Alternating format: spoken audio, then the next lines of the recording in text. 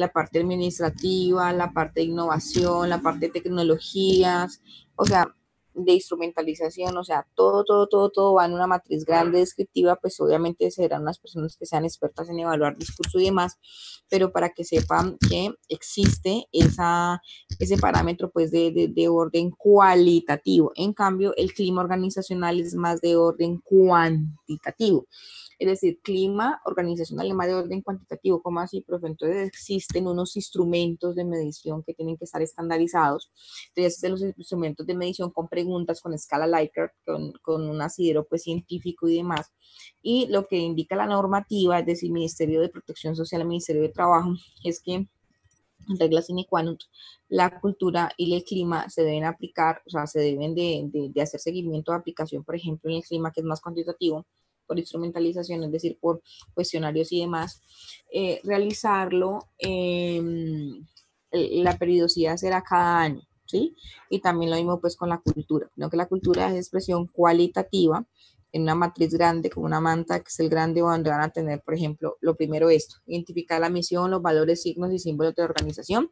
Entonces ahí se encuentran en todos los discursos, canales y soportes tangibles e intangibles que será necesario conocer para luego poner en sistema el momento de determinar el estado de partida de la cultura organizacional observada. Entonces lo que primero les iba a decir está explicando orden cualitativo descriptivo en esa matriz, será pues identificar la misión, visión, valores, signos y símbolos de la empresa. Lo segundo, especificar qué tipologías de cultura se tiene, ¿ya? Tipologías culturales para poder realizar un análisis de la cultura organizacional es necesario para formular una hipótesis con base a lo que se observa.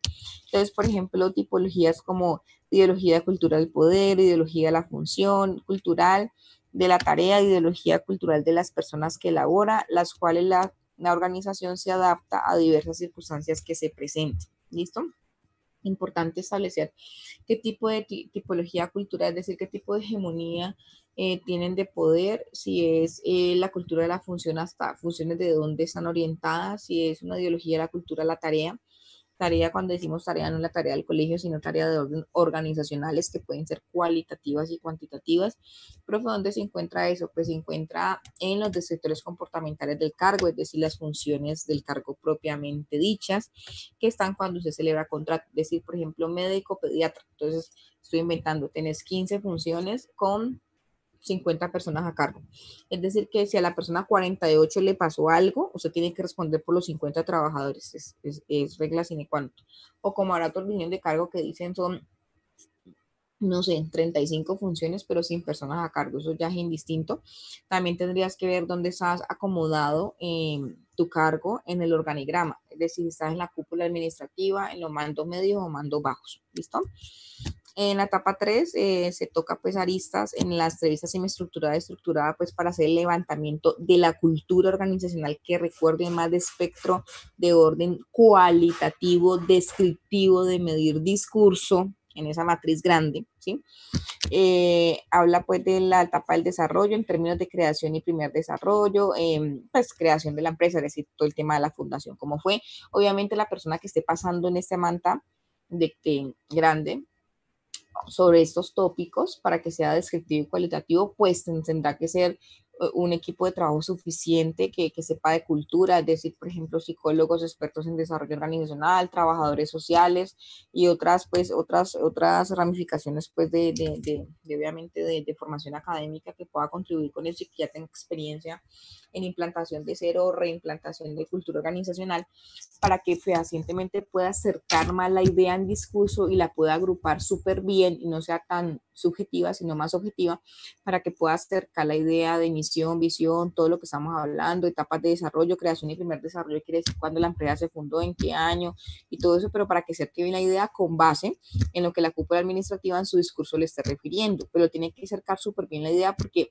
si, si redacta mal, si no puntualiza bien, si pues, todo lo que sea, si no acerca bien la idea, pues cómo vamos a, a, evaluar discurso. Recuerden que la investigación cualitativa y cuantitativa es un poco más dispendiosa en términos de tiempo, espacio y demás.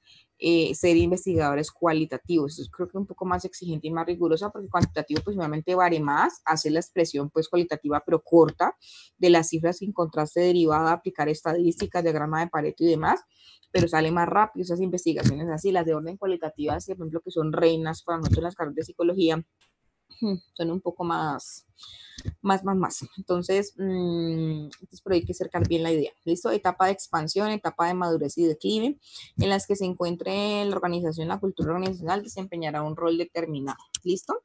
En cuarto punto que se, que se pregunta en esta matriz, se pregunta acerca de la mentalidad de la organización, es decir, construir una matriz que represente el grado de apertura o aislamiento que, eh, que la empresa o organización tiene con respecto a su entorno, el grado de innovación de cambio respecto al orden establecido, pues según corresponda. Eh, hay cuatro arquetipos culturales según la literatura, entonces uno con base en estos cuatro arquetipos es que uno le va a preguntar para poder pues canalizar el discurso, saberlo redactar muy bien, cercar y colocar en la matriz. Entonces, mentalidad narcisista, mentalidad tribal, mentalidad exploratoria y mentalidad amplificadora. Entonces, pues primero tenés que saber qué es mentalidad narcisista, mentalidad tribal y cuáles son las características principales también de mentalidad exploratoria y mentalidad amplificatoria para poderlo tener claro, preguntarle en esa línea, esas mentalidades que dice la literatura académica, a la cúpula administrativa, poder cercar fehacientemente la idea y pasarla en la matriz y construir pues ese discurso pasado en la matriz.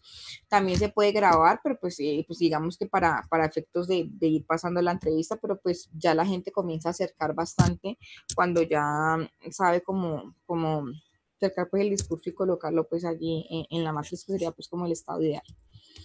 Cinco, relación al mercado, es decir, que también se preguntará en esa matriz cualitativa altamente descriptiva sobre el levantamiento de cultura, cuál es la relación con el exterior. Si estamos hablando todas las organizaciones tienen afincamientos y relaciones con el mercado, es decir, tipología de riesgos, de alimentación, culturas corporativas maduras, heroicas, y bueno, hablar todo este proceso tipología, la morfología, mercado, define la intensidad de competencia de cada sector, es decir, ahí se les preguntaría a la cúpula administrativa cómo está la clínica nivel 3, por ejemplo, en términos de relación del mercado de afuera. Cuéntame, si ya casi la hora, ¿cierto?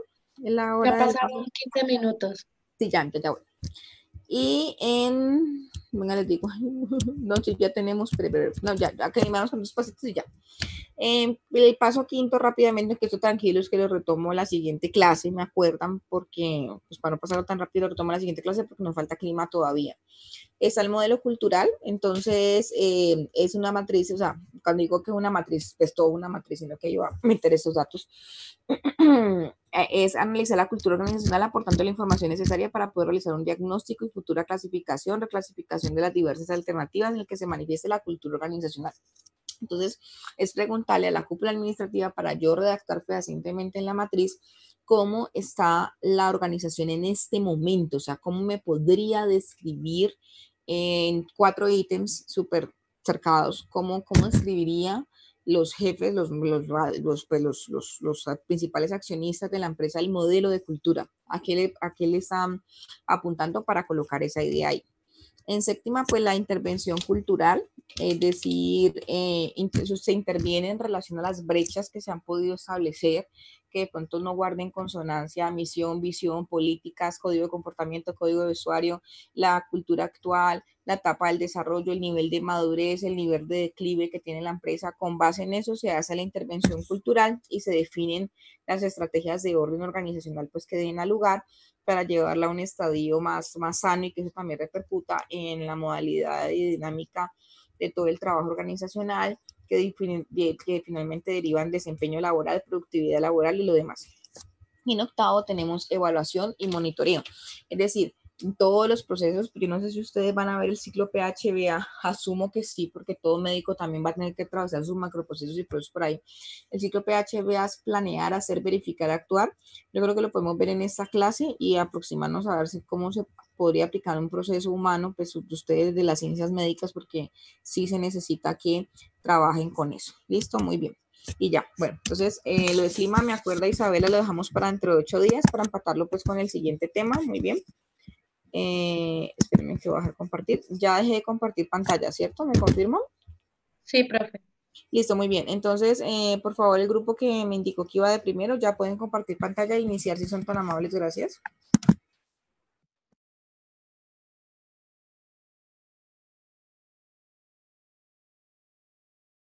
Entonces, el primer grupo es el del estudiante Eric, ¿cierto, profe? Eh, sí, el estudiante que me indicó que se iba, que tenía que retirarse antes de las cuatro porque tenía una cita médica, creo. vale, profe, ya, ya comparto pantalla. Gracias, muy amable. Eh, no sé si ya están en las diapositivas, profe. Sí, ya se ve, Andrea. Sí, ya, ya se ve. ya se ve, ya pueden iniciar, gracias. Bueno, buenas tardes, compañeros em, y profesora. A nuestro grupo eh, está conformado por Paula Daniela Quintero, Isabela Cañaveral Cabrera, Eri Vega Klusman, Cristian Camilo Fuentes y quien les habla, María Andrea Cabal Boledo en el tema es liderazgo y cultura, influencia en la eficiencia organizacional. Bueno, el objetivo principal pues, del artículo que eh, leímos era establecer los vacíos que se encontraban en la literatura, los cuales tenían o tienen una amplia conexión con el efecto del liderazgo y la cultura en la eficiencia organizacional. Entonces, ¿para qué nos sirve conocer los vacíos. Como la profesora nos explicaba, eh, son los temas o nuevos términos que se pueden introducir en este tema objeto de investigación. Los vacíos con mayor importancia fueron la necesidad de considerar el impacto de otros factores contextuales, sociales, en relación con el análisis de la cultura organizacional. También está el de realizar estudios longitudinales que puedan considerar la dinámica de la interacción entre los estilos de liderazgo y la cultura organizacional. Es decir, de que todo lo que vamos a hablar a continuación es acerca de los estilos de liderazgo y la cultura organizacional. En relación con la efectividad organizacional, se hace necesario poder delimitar el posible defecto del liderazgo en indicadores de tipo financiero y no financiero. Ahora, ¿cuál es la relación entre el liderazgo y la, cultura? la relación que existe es que los líderes ejercen un impacto importante sobre la empresa a la hora de definir las características de su cultura, pero esta puede cambiar con el tiempo debido a distintos factores, como puede ser una alteración en la conjuntura o en una crisis. Eh, bueno, y también existen las características que el líder debe de tener. ¿Por qué? Porque si éste no es capaz de establecer un orden, eh, eh, proponer confianza hacia sus colaboradores o compañeros, por ende su liderazgo no sería eficaz. Y eso va a conllevar a una mala organización en la institución. ya puede continuar. Bueno, la parte 3 eh, serían los resultados. Cuando hablamos de liderazgo, ¿sí me escuchan bien? Sí, perfectamente. Ah, vale, profe. Eh, la categorización y contextualización de los distintos tipos de liderazgo, pues es una tarea compleja por la cantidad de factores que la intervienen.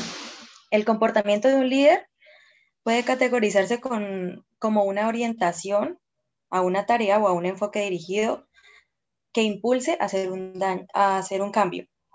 Eh, el desarrollo de las investigaciones sobre el liderazgo ha llegado a establecer un paradigma de, entre el liderazgo transaccional y el transformacional. Vamos a establecer, eh, ¿puedes cambiar la diapositiva, por favor? Gracias. Eh, para entender esos dos tipos de liderazgo, pues vamos a establecer unas diferencias que tienen uno del otro. Los líderes transaccionales eh, ejercen su influencia fijando las metas, clarificando los resultados esperados, retroalimentando e intercambiando eh, las recompensas por lo alcanzado. Entonces, el objetivo de este liderazgo, digamos que es establecer estabilidad de la empresa. A diferencia del liderazgo que vamos a ver ahorita, del transformacional, en este caso, las decisiones son tomadas y se comunican a los empleados para que las sigan. y si las siguen correctamente eh, y hacen bien el trabajo, el empleado recibe una recompensa. Pero si el empleado realiza mal esa, ese trabajo, él pues recibe un castigo. Eh, pasa la diapositiva, por favor. Bueno, eh, los líderes transformacionales ejercen una influencia adicional ampliando y elevando las metas de sus subordinados y brindando eh, a estos la confianza para ir más allá de las expectativas especificadas, de acuerdo pues con lo implícito o lo explícito establecido. Digamos que en este liderazgo se tiene como objetivo principal establecer cambios en una empresa que provoquen mejores expectativas y resultados más positivos.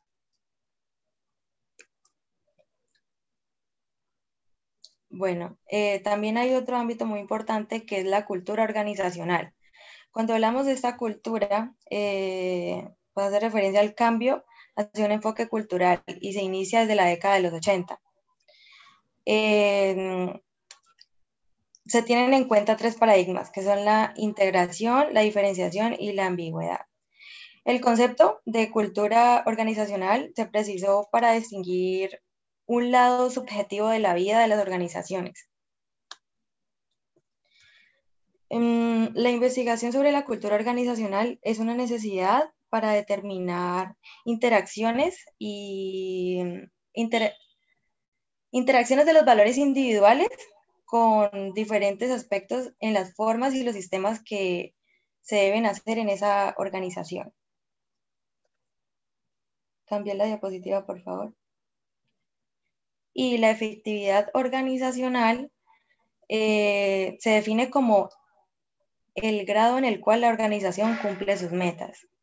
Entonces, eh, la medición de la efectividad organizacional es un reto que obliga a adoptar una amplia visión del rendimiento y examinar el logro de los resultados estratégicos importantes, que pues en este caso ya realiza el líder.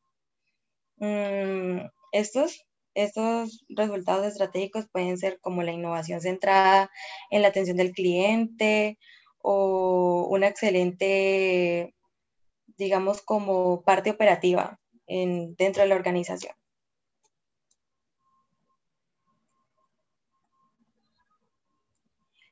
La interrelación que tiene el liderazgo y la cultura organizacional, eh, tanto desde el punto de vista científico eh, desde, o sea, es como la misma misión empresarial se ha destacado un papel del líder y de la forma en la que éste interactúa con la cultura organizacional.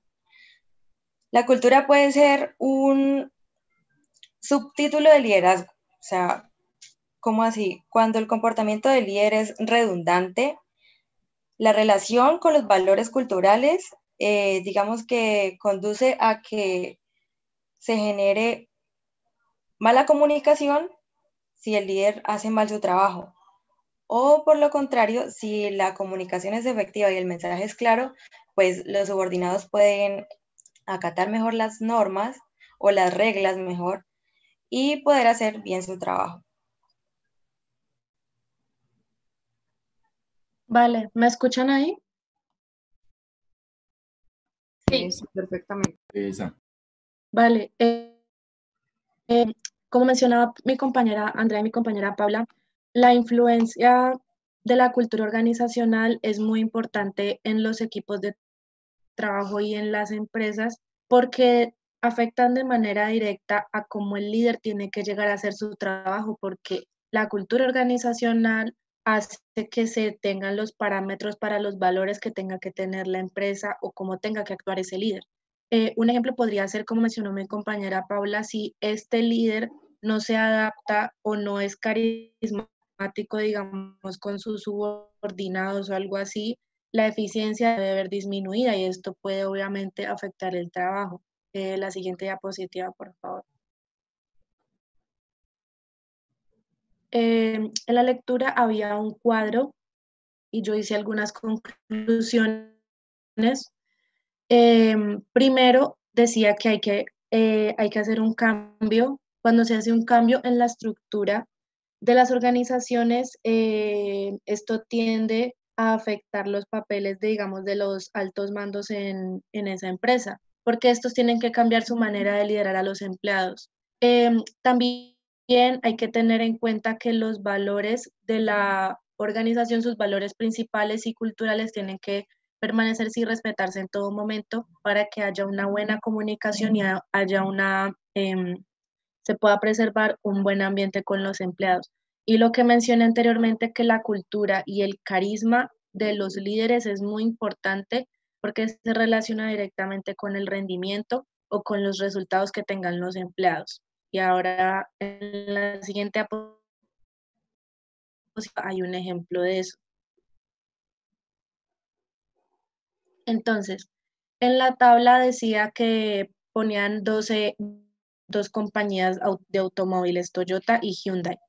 Em, Toyota creía que ellos tenían que tener un horario o unas reglas muy fijas para que eso los llevara al éxito a la hora de sacar un producto, porque eso los aseguraba de que cuando hubiera alguna cuando hubiera algún malentendido, ellos tuvieran cómo arreglarlo. En cambio, Hyundai, por otra parte, hacía todo lo contrario. Ellos creían, eh, creen, perdón, que cuando hay una flexibilidad con sus em empleados en, no sé, por ejemplo, horarios y planeamiento, eh, ellos, eh, su enfoque es mucho más relajado, mucho más flexible y eso eleva la moral de los empleados. Entonces, en el cuadro decía que Toyota es un ejemplo de enfoque simétrico y Hyundai es un ejemplo de, de enfoque asimétrico. Bueno, aquí en el siguiente mapa mental, les voy a, a, continuar la idea que trae la compañera Isabela. Pues básicamente nos dan un ejemplo de dos compañías en cuanto a la influencia en la eficacia organizacional. Tenemos un ejemplo, primero cualitativo, en el cual se va a enfocar en lo que es Toyota y lo que es Hyundai. Toyota se va a enfocar en, en una estrategia, en una planificación, en un trabajo. Entonces él dice que es muy importante planificar el trabajo para mitigar cualquier impacto, cualquier impacto en el entorno, ya sea interno o externo. ¿Por qué se puede decir que externo?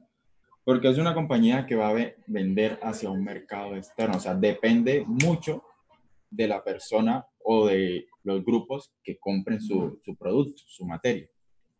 En cambio, Hyundai dice lo contrario. Él se ve involucrado en una, una flexibilidad, el cual le va a causar una incertidumbre y unos riesgos. ¿Qué podríamos decir de incertidumbre? Que no sabe si esa flexibilidad le va a servir en pro de la compañía o va a ser en contra de la compañía. Entonces ellos se sienten en una ambigüedad, una ambigüedad, perdón, donde no sabe si sí le va a funcionar o no le va a funcionar. Pero ellos están enfocados en que sí le va a funcionar porque el subordinado o el trabajador, al tener eh, una empresa más flexible se va a sentir como en una zona de confort o más cómodo y de esa manera va a trabajar un poco más relajado, entre comillas. Abajo en la siguiente flechita donde dice cuantitativo ANOVA, eh, tenemos otro ejemplo. Este se basa pues eh, en la mejora del desempeño para mejorar un trabajo, en la gestión de organización mediante los aspectos de liderazgo y cultura organizacionales. Este se va a enfocar en un liderazgo transformacional. Para, para tener un poco más claro esta idea, el liderazgo transformacional es aquel que está pensado, que está direccionado a fomentar el cambio y la creatividad del subordinado. O sea que va a ser un proceso que busca influir, guiar, dirigir e involucrar a todos los miembros de una empresa. ¿Para qué? Para que estos puedan seguir a un líder y llegar a cumplir las metas que se necesitan. Esto va a terminar con que con un liderazgo de eficacia. Entonces esa eficacia, organizacional lo que quiere es son llevar a cabo los objetivos planeados y llevar a cabo unos resultados que ya se, plantea, se plantearon posteriormente. Y en el siguiente, que dice cuantitativo, que no sé cómo señalar, se pone eh, una relación entre financiero y no financiero. Entonces tenemos que tener en cuenta que esa parte financiera pues van a ser las acciones que, y reacciones o actitudes que la persona tiene o el subordinado tiene con respecto a la administración del dinero. Entonces tenemos que tener en cuenta de que esa relación es significativamente, eh, no es directamente proporcional. Entonces hay que buscar de una manera indirecta de que estas dos se relacionen para tener un liderazgo transformacional y que una eh, dependa de la otra y no se vayan como que a un punto eh, aislado que netamente sea financiero o netamente sea no financiero. Entonces se puede recomendar estudios eh, donde se vean comprometidos los comportamientos financieros y no financieros.